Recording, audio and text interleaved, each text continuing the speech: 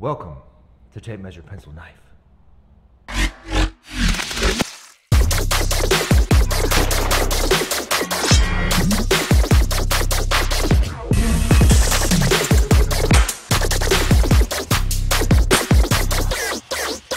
Today on Tape Measure Pencil Knife, we're building front porch columns that are tapered, made from exterior MDF.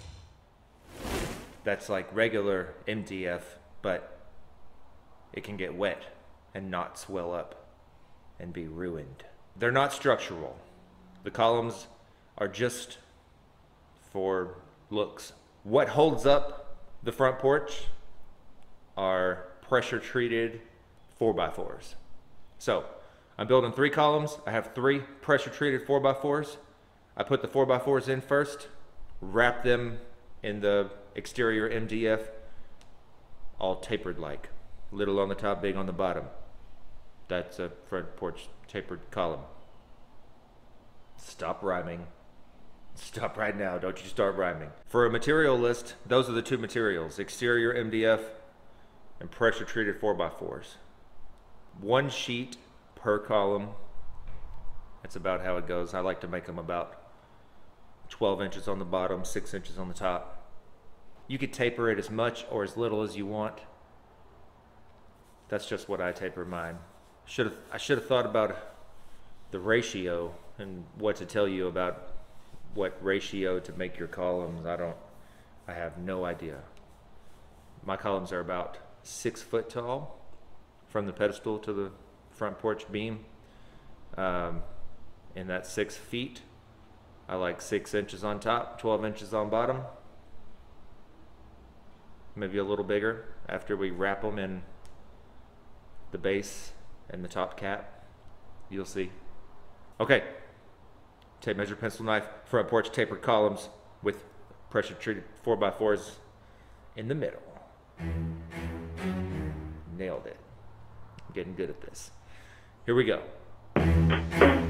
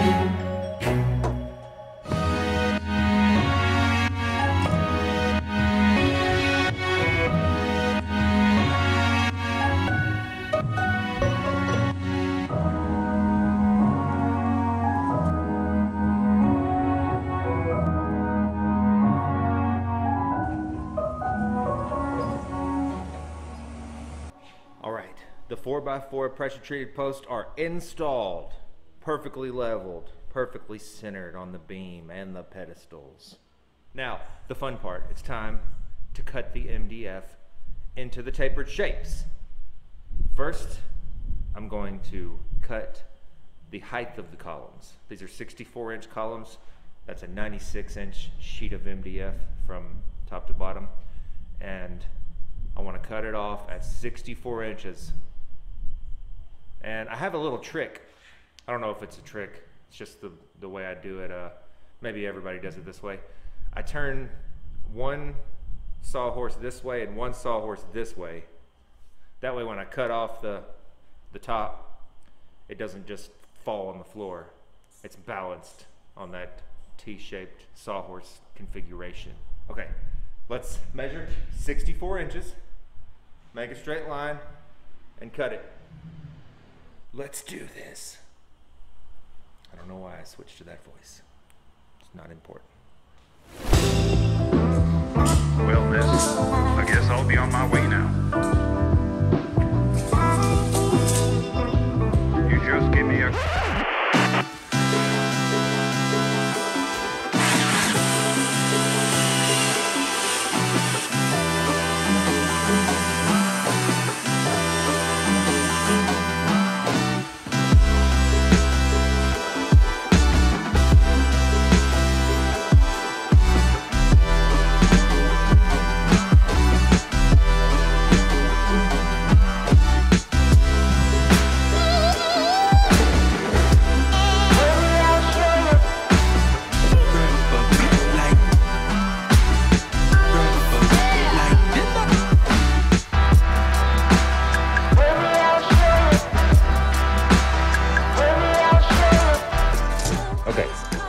Bottom.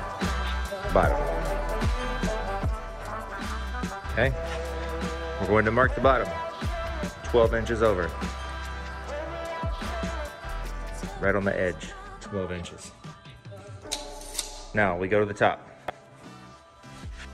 The center is going to be 6 inches. 12 inches is at the bottom. So from our 6 inch mark, we're going to go 3 inches both ways. One, two, three. Make a mark. From six, one, two, three. Make a mark. Now, we have a six inch top of our column and it's going to taper to 12 inches at the bottom of the column, down there. The next step, we connect the dots. From there to our 12 inch mark, right there.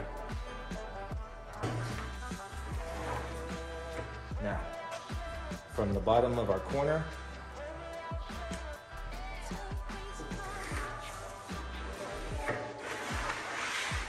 now all you have to do is cut it out.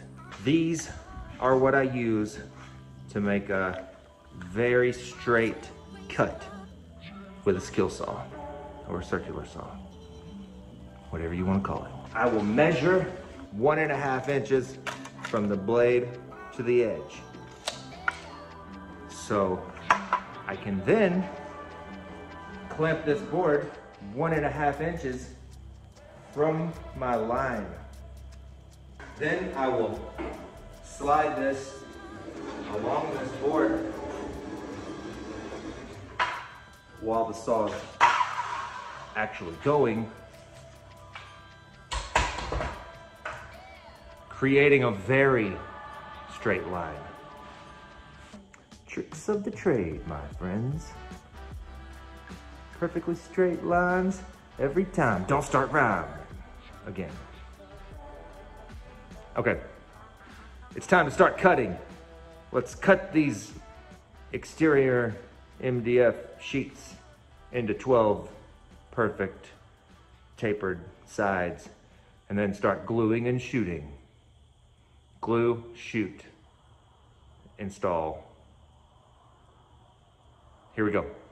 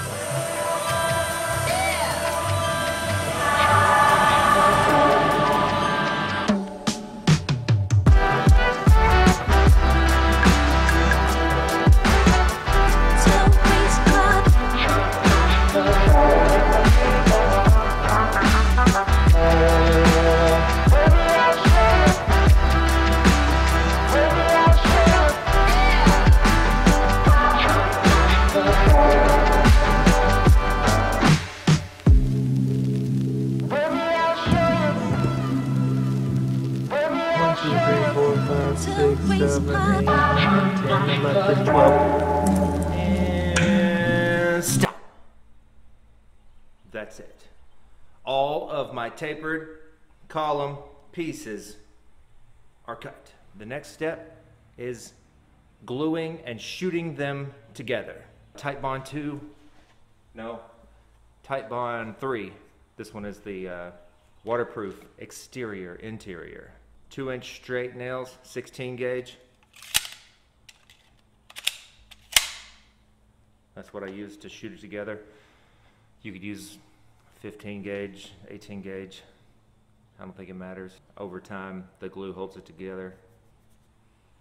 When the nails rust and turn into garbage. All right. I'm going to glue and nail three of the four sides together on all three columns. Then I could slide it on the 4x4 and add that fourth side. Then add the cap and the base. Yep, that's it. That's the order in which things go. Let's do it.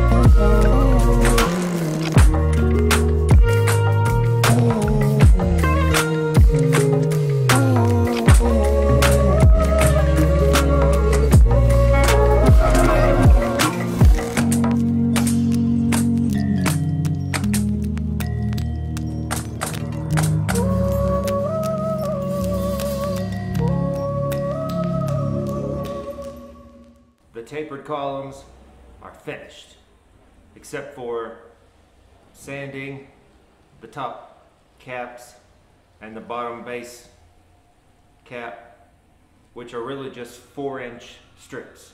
This is what I'm going to make the caps out of. The, uh, the leftover, this was the cutoff. Whichever side I did not cut is the side I'm going to use because it's the factory side. It's nice and straight. I've set up my table saw with a little with a little feed table. You could still use the skill saw for this part as well. Just set your board back up and clamp it. Slide the skill saw along. Make nice straight cuts. Then I'm going to cut a piece, take it over there to the columns, set it on there, and scribe both sides because it's tapered, right? Can't just make square bases. They have to be tapered bases as well. Once I have those two marks, I'll bring it to the miter saw and find the angle and bevel to 45 degrees, cut it on that angle, and then repeat that times 12, and then do the top, and repeat that times 12, and then we'll glue and nail those on. Let's do this. I'm gonna turn this into a bunch of four inch strips and then and then I'm gonna cut the angles on them. Right right before I'm about to put my hand against the lens, I always turn into Batman voice. Real angry. Here we go. Table saw, four inch strips. Let's do this.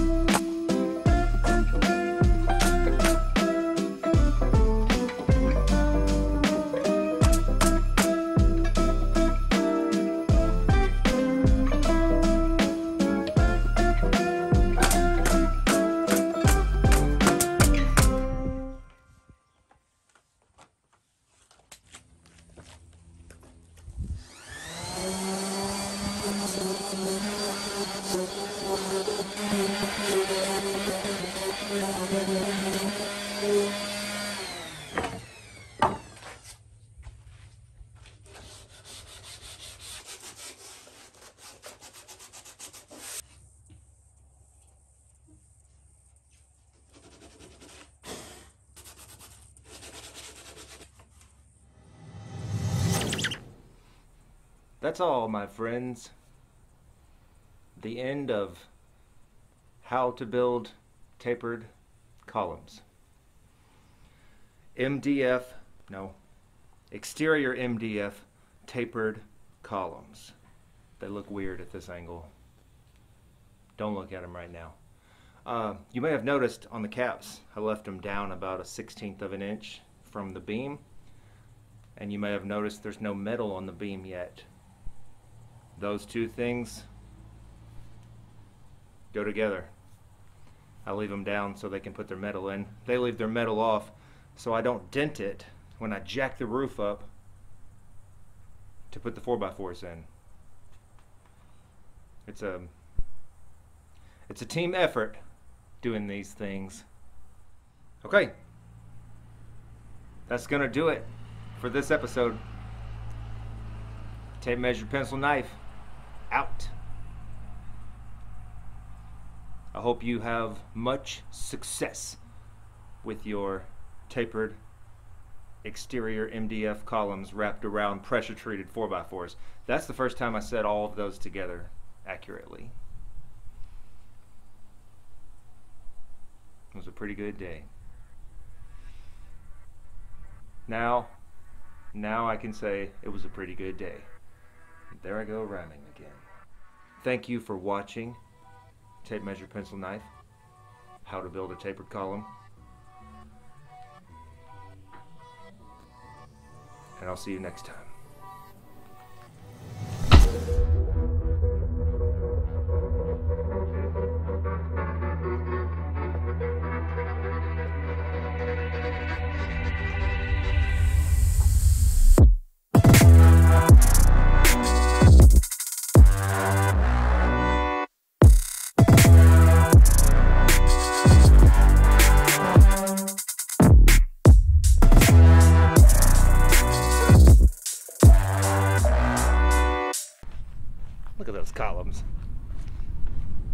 I almost forgot. Whatever you do after you watch this video, no matter what your plans are, I hope you do that instead of screenshot this and figure out why the side of my trailer has a QR code. Don't screenshot that. Don't figure that one out. That's I'm telling you right now, don't do it. Thank you.